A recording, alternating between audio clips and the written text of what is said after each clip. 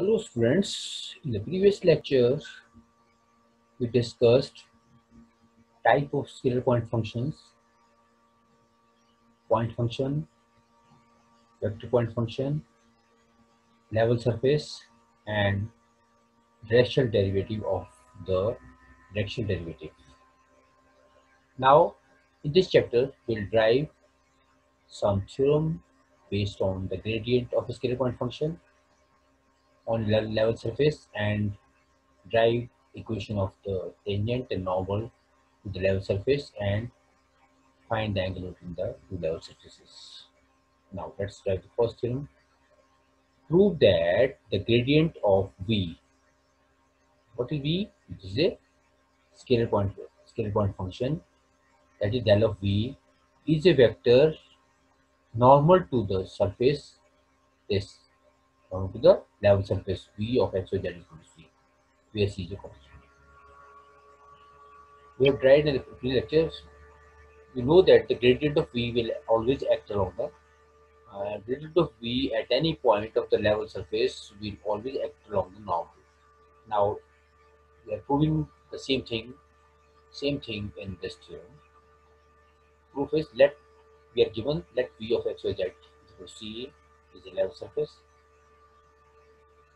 and let r is the position position vector of any point p on the given level surface and therefore if the if the position p is any point this p is any point of this. P is any point on this surface therefore the position vector p will be the coordinates of P are x, y, z.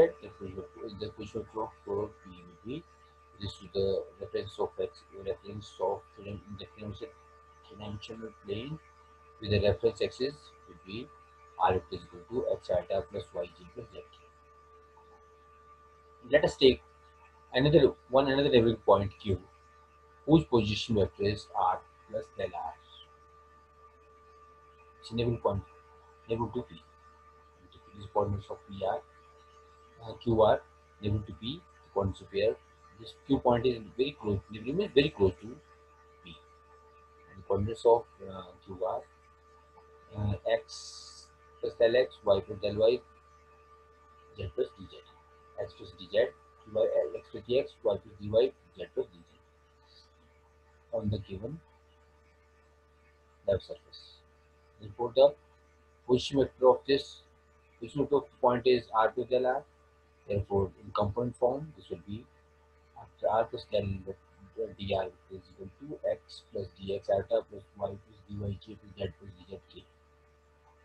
Now, now this this is we form a triangle here. Triangle this is uh, p point, this is q point.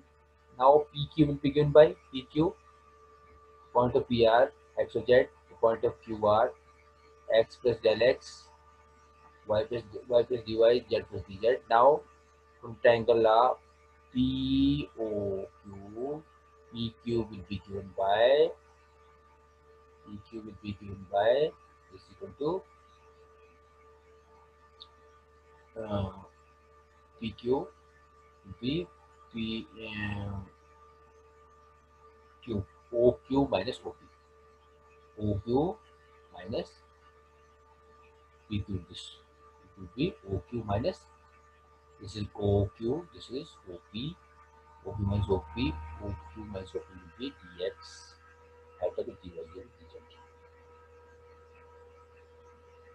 As Q approaches mean because the point P and Q are very close they are neighboring points. So as Q approaches P along the secant P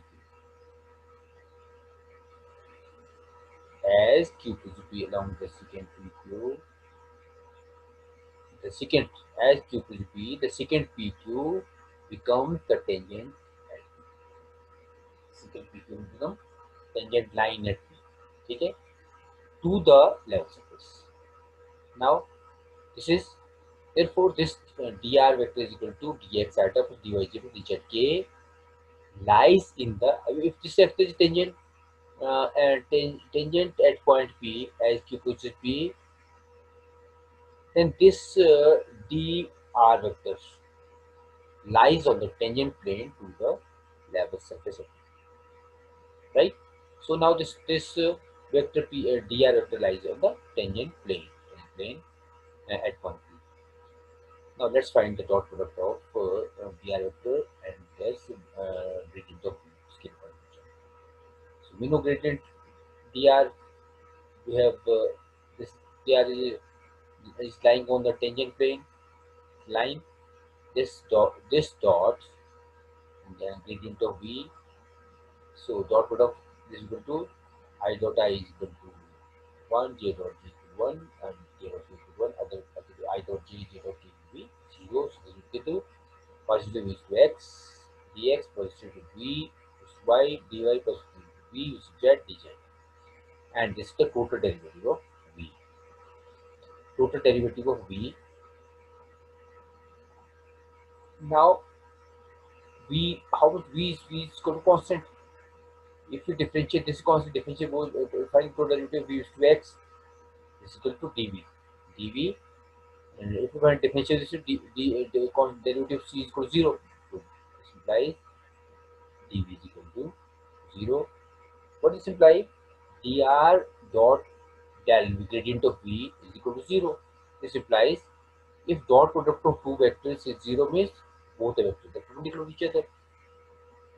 Now dr lies in the tangent plane to the uh, level surface at P. Therefore, uh, gradient of V is normal to the surface at P. Surface. So this is we have proved it earlier also and this term also gives us uh, the gradient of the directional derivative of the scalar point function at any point will always la, la, uh, act along the normal uh, to the surface at which we are finding the gradient of the large surface. Now next one is prove that gradient of v is a vector in the direction in which the maximum value of the uh, the direction that v uh, is to ds occurs.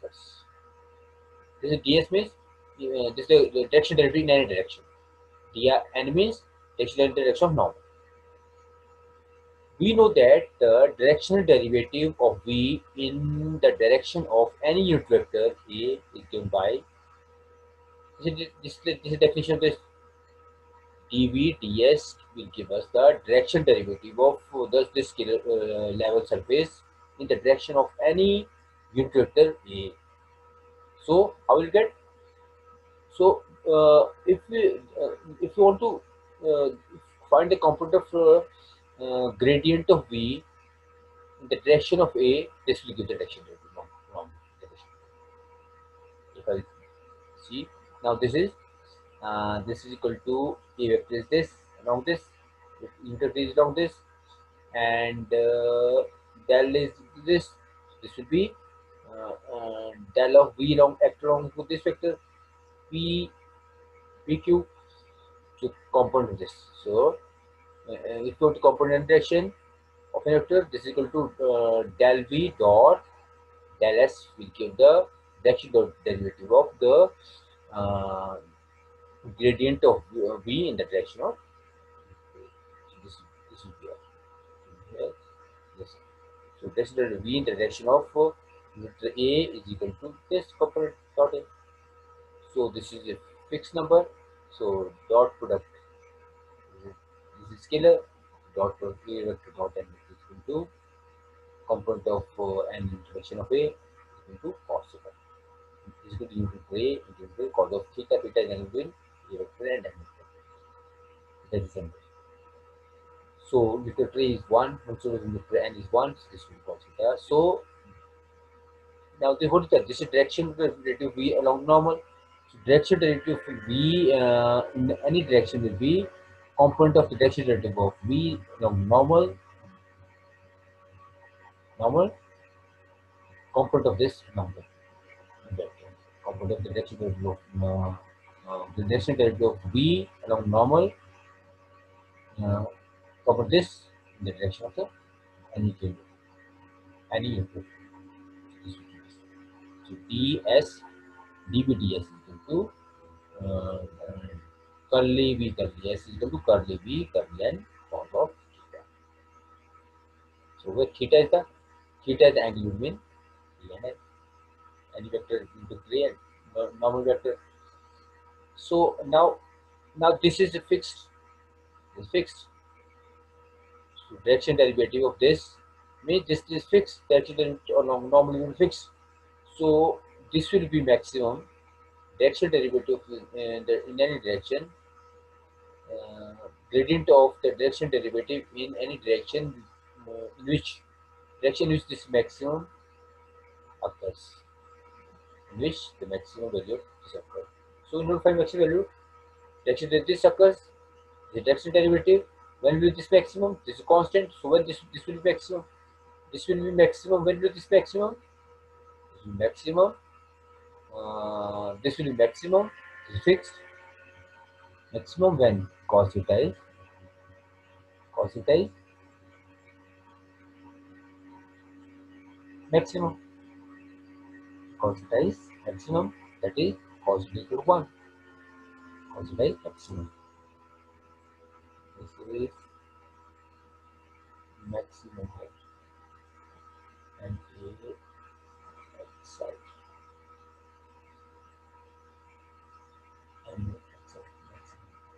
maximum cos theta maximum cos theta maximum and uh, this will value is 1 theta is equal to 0 that is when a is along the norm. When the unit vector along which uh, uh, will act along the normal so maximum value of the direction derivative will, be, will always be along the normal. The direction derivative is maximum along the normal to the level surface uh, along which the vector uh, gradient of the scale point function. And what is maximum value? Is modulus of gradient of maximum value will be maximum value gradient of the this gradient of uh, modulus gradient of right. And next one try the necessary and sufficient condition for the scalar point function phi to be constant is that gradient of phi. Now, necessary necessary part, a part, let's assume that phi is a constant. Necessary and sufficient condition for the scalar point function phi uh, to be constant is that gradient. So we suppose this is constant. Now we'll prove that uh, gradient of phi. If this is constant, means independent of x, y, z, is gradient uh, positive is of phi is to x, positive y is to y, positive phi is to z will be 0. But we know that gradient of phi is equal to uh, component form is equal to positive phi is to x, gradient of phi is equal to positive phi is to x, iota positive phi is to y, positive phi is to z.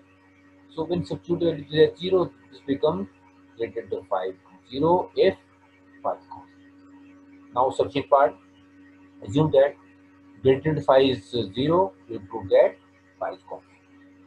Now we know that gradient of phi, definition of this is the zero vector.